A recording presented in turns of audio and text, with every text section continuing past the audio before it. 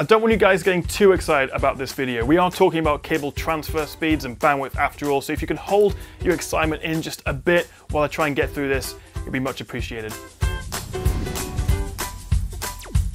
So this is a high definition multimedia interface cable, an HDMI cable. We've all got loads of them and you use them to hook up to your TV, your games console, maybe your computer. So far there's been two main standards, 1.4 and 2.0. The problem is they do all look the same, so it can be quite hard to tell what you've got. But chances are you're using HDMI 1.4, that's still the most common. Anyone with a full HD TV or a PS3 or an Xbox 360, one of the older consoles, will be using 1.4. But if you've got a fancy 4K TV or maybe one of the latest Xboxes or the PS4, you're going to be using a HDMI 2.0. And the main difference is just the amount of data that can go through one of these. The more data you can push through, the higher resolution, the higher the frame rate, the HDR, more fancy features you can push through. Now, as you know, this is a high-end professional YouTube channel, so there's no expense spared when it comes to explaining technical details. So if I can draw you to my Google Doc here, I will show you what's going to happen with HDMI 2.1, starting with the most common 1.4, which will get you 10.2 gigabits per second of data through the cable. Very exciting. And that's a pretty good number. It will get you 1080p at 60 FPS or 4K at 30, but you know, we're a bit beyond that now. So then HDMI 2 came out, which the uh, latest Xbox or PS4 use or your fancy new 4K TV. HDMI 2 can transfer 18 gigabits per second, so that's about 80% more than 1.4. That's great, that can deliver 4K 60 and high dynamic range and a whole bunch of audio stuff, but it's still not good enough, especially going forward, because over the last year, the HDMI forum, such a thing does exist and sounds fascinating if you're into your uh, cable transfer speeds and bandwidth, which I'm sure you are.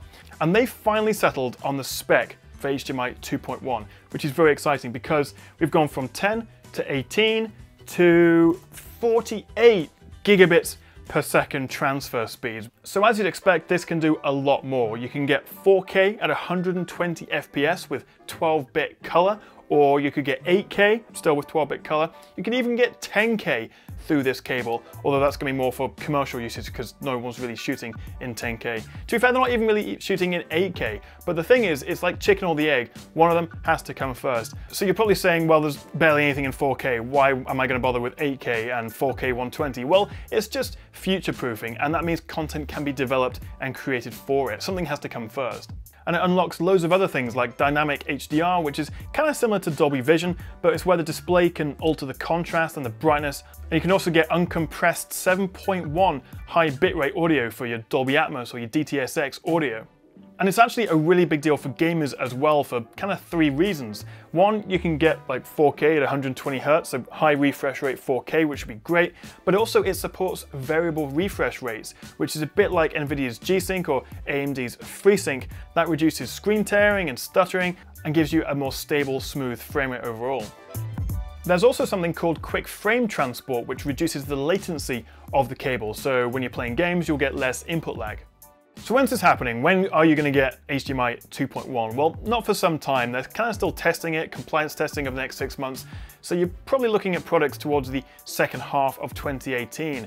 And obviously we're not all going to suddenly have loads of 8K movies to watch. It's up to the developers and the content creators to push content out for it, but you do need that hardware in place so people can then actually watch what they shoot because most Hollywood movies now are shot in 8K and then cropped in and uh, edited down. But what you will notice pretty much straight away is the variable refresh rate and the quick frame transport. If you're playing on the Xbox One X or playing PC, these gaming features will be, should be instantly noticeable.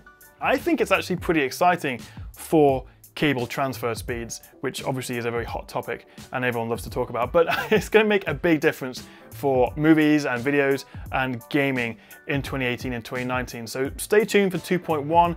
Don't worry for now, there's nothing you can really do, it's not out yet. I just wanted to let you know what's coming, why it's a pretty big deal, and we should all be kind of excited about it.